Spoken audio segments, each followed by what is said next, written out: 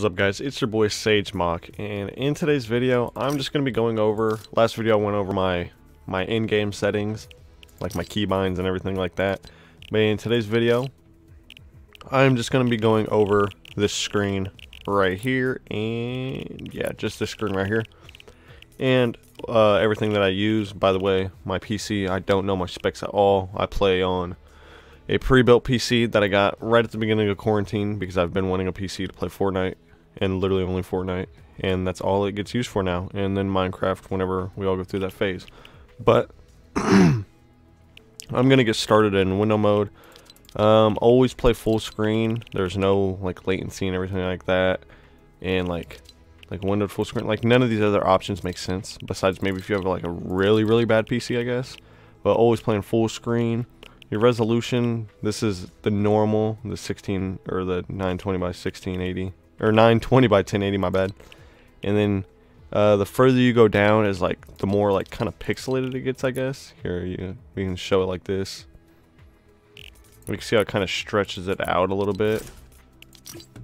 And then you have like 19 or 1280 by 780. It like, gets more pixelated and like it just doesn't like look as clean like you can kind of see everything but I just play it on. I just play on 1920 by 1080 as you can see it looks a lot more clean and everything like that. And then we're gonna go down to our, our frame rate limit. I have it at 144 because I play on a 144 hertz monitor. And I also know that like you can just put it on one above and it won't change anything but I just cap it at 144 and then, so say you have a 60 hertz monitor, so play on 60 hertz, 120, obviously the same, same. And then you can play on unlimited. You'll just have a like a lot more frame jumps, but I just keep it at 144. I don't know how many I get, probably like maybe like 300 maybe, if that. But my brightness, I play on 80 just because I have like super sensitive eyes, I think so. Like so in this game, Fortnite is just a super bright game. So this is like preference to you. Uh, this doesn't really matter. Colorblind mode, I used to play on, I want to say, I either played on this one, I don't really know how to pronounce that, or Tritanope, and I, I think so. I feel like I used to play on this one. Yeah, it was definitely this one because my builds were always bright. But yeah, so these, you can play on either ones. Uh, I know some people use it just to be able to see the storm a little bit better and stuff like that. And then we're going to go down here to graphics quality. And I play on performance mode. So, yeah. But the 3D, you just keep that at 100. View distance, I have it at far. Just because my PC can, like, it doesn't really affect anything.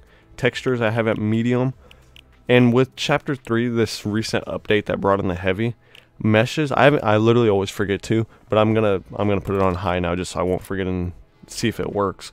But my trees have been like rendering in super weird, and I think it's messing something up, I think.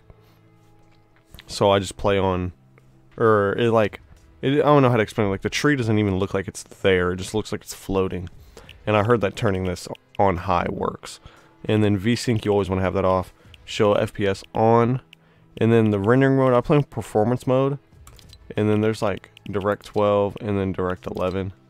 And then I think whenever you're not in, well, uh, okay. Whenever you're not in performance mode, I think you have like a lot more settings. But I play on this, and like I said, I pull, I get good frames. We can just load into a creative right now. Now, it, it will be a creative game, so, I mean, like, take what you want from it. But, like I said, my my frames have always been good. I, I get good frames in-game and arena in, like, the cup games. So, whenever I get good frames in that, I just am assuming that it's all good around because if it can handle some in-games in arena and also, uh, what's called? If it can handle in-game and stuff like that, then I think I think we're all good there. But yeah, see, we'll, we'll just go into like my blank world over here. Titled free build. Yeah, if you can see like up in the corner, I'm getting like 144 and everything like that. We're just gonna keep all the builds there. It won't really matter.